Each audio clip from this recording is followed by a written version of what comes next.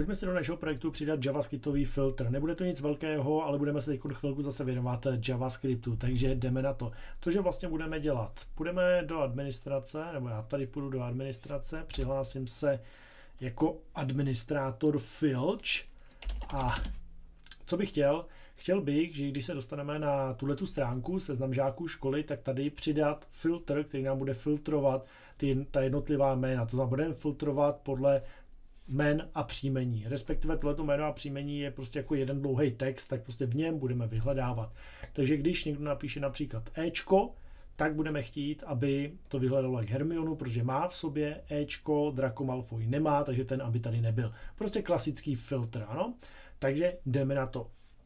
První věc, kterou budeme muset udělat, je, že si najdeme tohleto seznam žáků a budeme si tady muset přidat input. To znamená, když se podíváte, tak je to students, takže půjdeme do admin, tady si dáme students, já si to zvětším, buch, buch, buch. A teď jde o tom, ten filtr budeme chtít tady pod to H1, což je ta section. Vidíte, jak to máme krásně rozdělené na section, tak to tady úplně vybízí k tomu, že si tady dáme section s klásou filter a do toho section s klásou filter si umístíme jenom obyčejný input. To znamená, bude to input type text, no a můžeme si k tomu taky přidat nějakou klásu, jestli chceme, i když není to jako úplně zapotřebí, protože ten input můžeme krásně chytit tečka filter, mezera, input, jo, když budeme potřebovat. Ale dobře, dáme si tam třeba klásu filter input. OK. Teď, když to refreshnete, tak tady máte krásně input, to nám vlastně teď stačí, nám jde teď v první řadě o tu funkčnost, no a pak jenom si doděláme nějaké malinké styly. Takže input máme, super.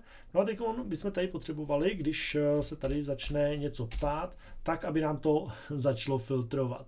Takže jak budeme postupovat? Jako první si musíme založit JavaScriptový soubor, to znamená, půjdeme do JavaScriptu. Víte, že už tady máme JavaScriptový soubor pro header, pro password checker, tak si dáme new file a nazveme si to filter.js, aby to zase bylo popisný. A tenhle filter.js musíme napojit právě do toho students PHP. To znamená, napojíme to tady, takže napíšeme script, zvolíme dvojtečka.src, aby jsme to nemuseli dopisovat. A řekneme, hele, jdi o úroveň vejš, tam, to znamená vyskoč z té složky admin, tam najdi složku JS a najdi filter JS, to je ten název toho souboru. To znamená, jestli to máme propojené správně, tak když já třeba tady do toho filtru napíšu jenom něco v rychlosti, třeba ahoj, refreshnu to, tak vidíme, uh, jo, já jsem napsal alter, to má být alert, tak. Takže refreshnu to, tak vidíme, že mi vyskočí alertový okno, tohle to jednoduchý uh, otravný okno, ale vidíme, že to máme propojený. Ale pochopitelně nechceme, chceme trošku jiné věci, takže jsme to úspěšně propojili. Takže jenom zopakuju JavaScript, máme filter.js, Šli jsme do Students a ten filter.js jsme tady naplnili. Bacha na tu cestu, aby byla správná.